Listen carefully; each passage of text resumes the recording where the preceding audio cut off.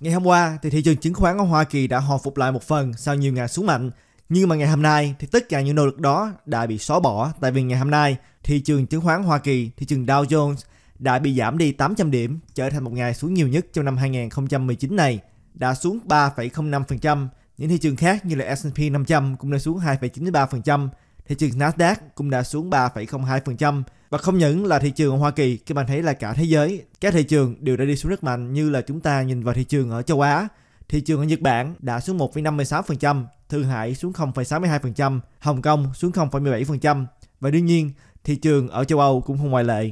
Thì ngoại trừ là thị trường chứng khoán đã đi xuống, các bạn thấy được là những thị trường khác như là thị trường trái phiếu cũng đã đi xuống, thị trường dầu hỏa cũng đã đi xuống, thị trường Bitcoin ngày hôm nay đã đi xuống khá mạnh. Các bạn thấy được là ngày hôm nay thì giá cái Bitcoin chỉ có 9.760 cái lúc mình làm cái video này và đã kéo theo rất nhiều altcoin đi xuống. Chúng ta thấy là Bitcoin xuống 7% thì những altcoin lớn khác như là Ethereum, XRP, Bitcoin Cash, Litecoin, EOS, Bitcoin SV, tất cả những đồng lớn này đã đi xuống hơn 11% ngày hôm nay. Còn thị trường vàng thì như thế nào? Các bạn nhìn trên màn hình đó chính là biểu đồ của thị trường vàng trong vòng 5 ngày vừa qua thì các bạn thấy được là tuy là trong vòng 24 tiếng đồng hồ mới đây thì lên một chút có nghĩa là lên 0,17% nhưng mà trong vòng 2 ngày vừa qua thì các bạn thấy là cũng đã đi xuống. Thị trường hiện bây giờ không có nhiều nơi để cho các nhà đầu tư có thể trú thân. Thì chuyện gì đang xảy ra, đây là những gì mà chúng ta sẽ nói tới trong video ngày hôm nay.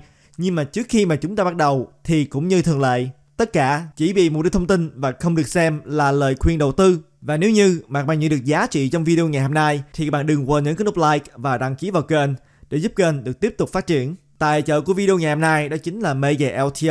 Maya LTR là một dịch vụ sổ số trên mạng lưới blockchain. Mỗi ngày sổ số một lần và mỗi vé số là 2 đô la. Các bạn có thể tham gia mua vé số sử dụng đồng Ethereum và đổi ra đồng MLR ở trên trang web của Mega LTR.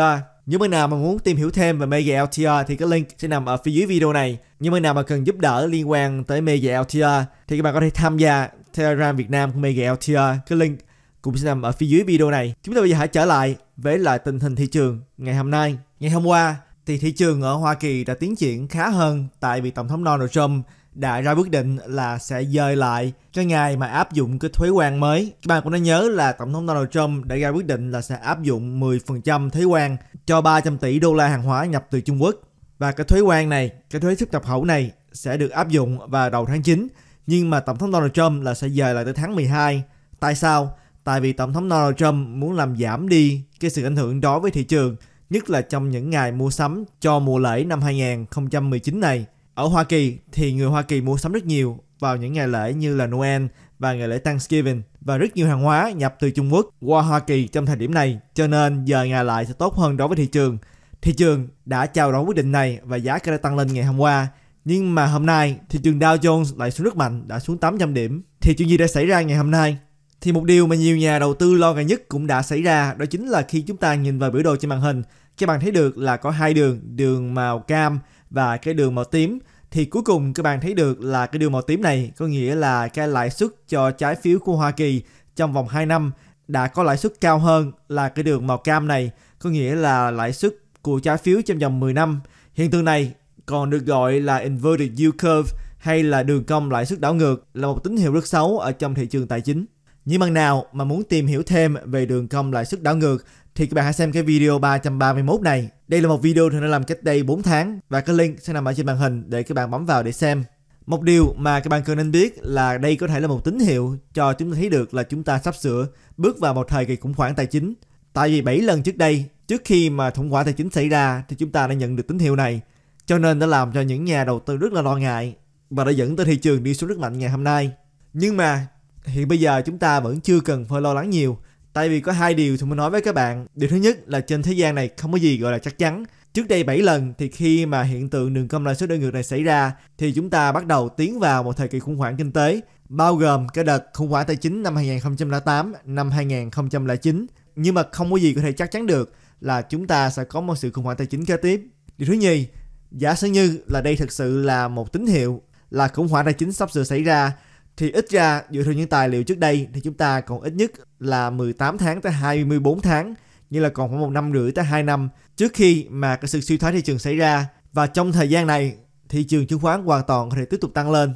Thì có thể là nhiều bạn muốn biết là tại sao thị trường lại bất ổn trong thời gian này. Thực ra không có một câu trả lời nào hay là không có một yếu tố duy nhất nào có thể giải thích được là tại sao thị trường lại bất ổn. Nhiều bạn có thể là nhìn vào những tài liệu như là liên quan tới là chiến tranh thương mại Trung Mỹ và nói đây là lý do. Thực sự đây chỉ là một trong những yếu tố mà chúng ta đã nói tới rất nhiều yếu tố trên channel này.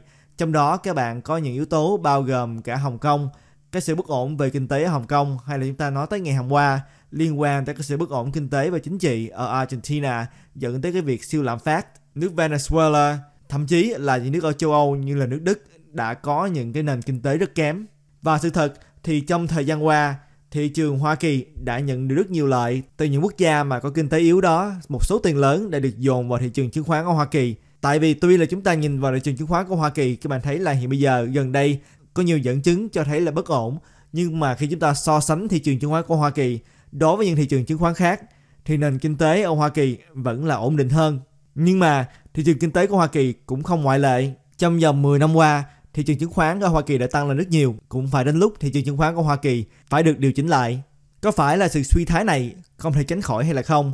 Bất cứ cái thị trường nào thì cũng đi theo chu kỳ thì sẽ có một chu kỳ thị trường phải bị điều chỉnh lại. Nhưng mà khi nào thì đó là một câu hỏi rất khó trả lời Tại vì các bạn thấy được là ngay cả thị chứng khoán của Hoa Kỳ hiện tại thì một trong những điều mà Tổng thống Donald Trump kêu gọi đó chính là kêu gọi ngân hàng dự trữ liên bang ở Hoa Kỳ giảm lãi suất và tôi nghĩ là nếu như mà ngân hàng dự trữ liên bang của Hoa Kỳ chịu giảm lãi suất một phần thì có thể là kéo dài thời gian cho thị trường nhưng mà sự suy thái cuối cùng cũng không thể tránh được và nếu như đây thực sự là một tín hiệu của sự suy thái kế tiếp thì 18 tháng sau, có nghĩa là cái mùa bầu cử tổng thống năm 2020. Và đây sẽ là một đề tài rất quan trọng cho người dân ở Hoa Kỳ.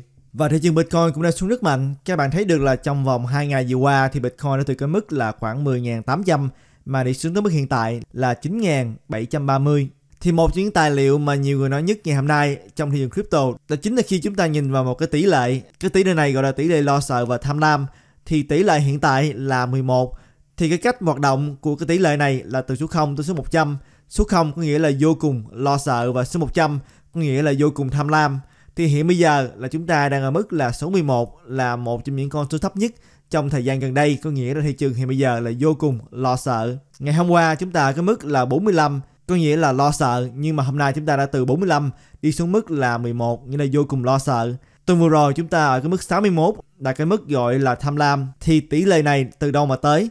Thì các bạn thấy được là dựa vào một số tài liệu. Thứ nhất là nhìn vào cái sự lên xuống của thị trường Thứ nhì nữa là nhìn vào tài liệu liên quan tới khối lượng giao dịch.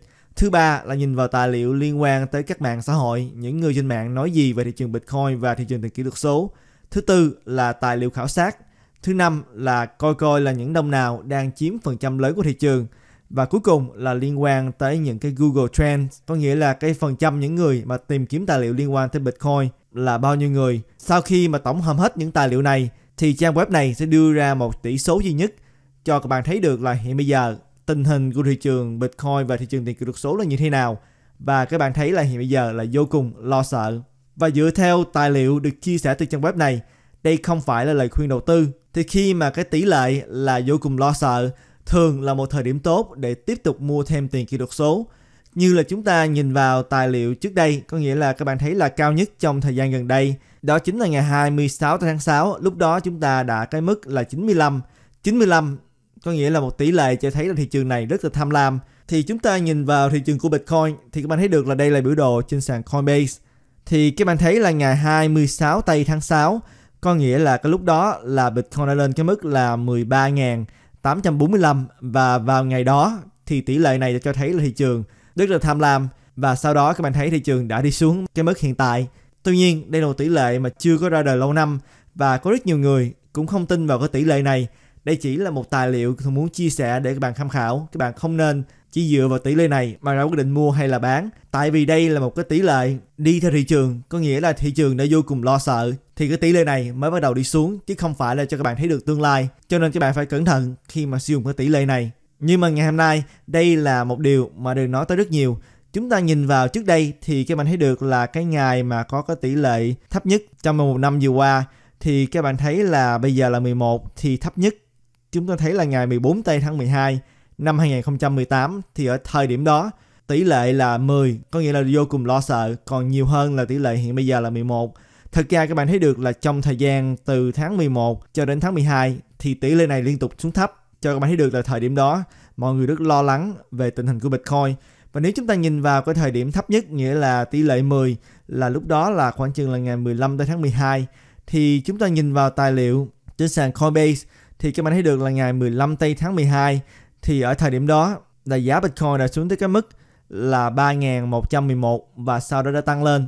Các bạn cũng thường nghe câu nói mà nhiều người lặp lặp lại từ tỷ phú Warren Buffett là hãy tham lam khi người khác sợ hãi và hãy sợ hãi khi người khác tham lam. Nhưng mà cái điều khó ở đây là các bạn làm sao biết được là bản thân các bạn là đang tham lam hay là đang sợ hãi. Tại vì các bạn mua bây giờ thì các bạn có phải là tham lam hay là không? Và nếu như các bạn bán bây giờ thì có phải là các bạn lo sợ hay là không? Đó là một điều mà thường nghĩ là chỉ có tương lai mà có thể trả lời được.